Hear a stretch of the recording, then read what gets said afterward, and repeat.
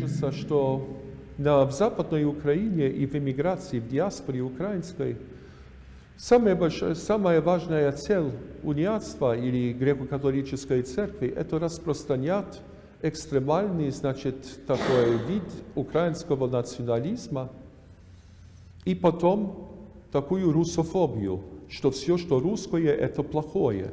Исторически украинские, значит, греко-католики вообще не поддерживали, значит, украинского национализма. Были среди них, значит, еще в 19 начале и в начале, значит, 20 века русофили, которые сочувствовали, значит, русской культуре. И до этого они всегда поддерживали, значит, Польшу.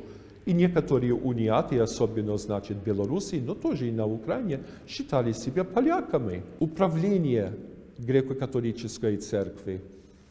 Это управление, это иммигрантское управление. И у них есть только одна цель.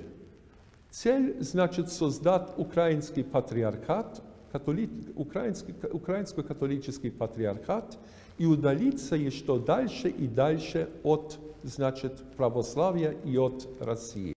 Когда было, значит, но умягчение или, или, можно сказать, приближение, значит, католиков, значит, православных, они как будто это умышленно делают, чтобы, чтобы это портить постоянно. Отнош... Хорошие отношения между, значит, православными и католиками. Твои пред Господом Богом, который